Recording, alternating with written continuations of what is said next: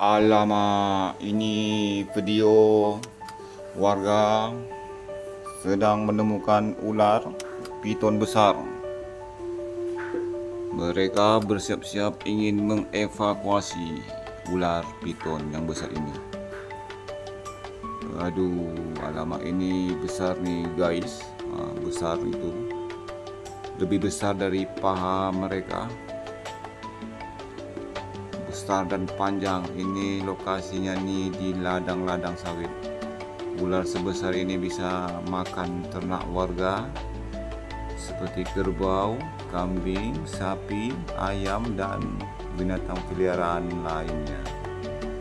Ini memang harus dievakuasi nih teman-teman. Ini sangat membahayakan jika dibiarkan hidup di lingkungan masyarakat.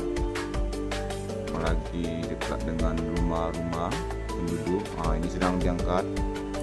Ya ternyata panjang juga ya udarnya berat ya. Yang mengangkat pun ini tidak satu dua orang. Ini ramai juga nih warga berpartisipasi untuk mengevakuasi ular. Oh tidak sanggup ternyata.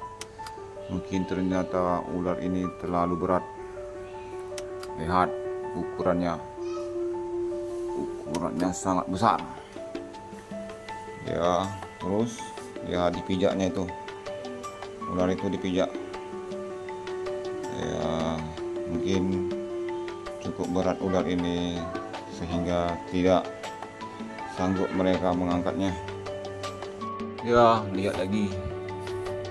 Lihat itu mereka ingin mencoba lagi mengangkat. Oh itu ternyata masih liar ular ini ya di alamnya yang natural. Ular ini memang liar dan sangat kuat. Ini bukan sembarangan nih orang yang menangkapnya ini. Butuh kehati-hatian.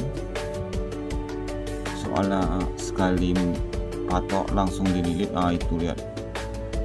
Untung mulutnya sudah dikasih lakban ah masih berdiri. Oh masih kuat dia nih bahaya nih kalau dibiarkan hidup. Ukurannya pun hampir sebesar perut manusia. Bapak-bapak yang berdiri ini hatuan di berusaha megang kepalanya lagi. Dengan ulah hati oh badannya mulai merapat ke kepalanya ingin mencari lilitan. Nah, ingin melilit. Ternyata dia masih kuat para penonton sungguh susah ini mungkin lokasi kejaran besarnya mungkin agak jauh juga. Apalagi ular ini cukup panjang dan besar.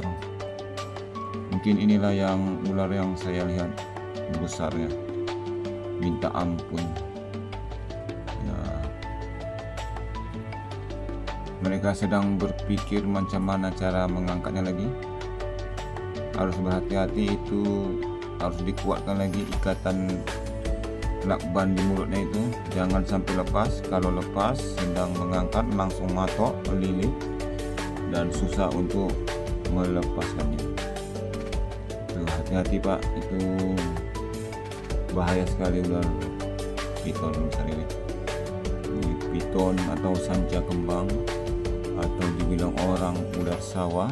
Inilah dia bentuknya panjang besar lebar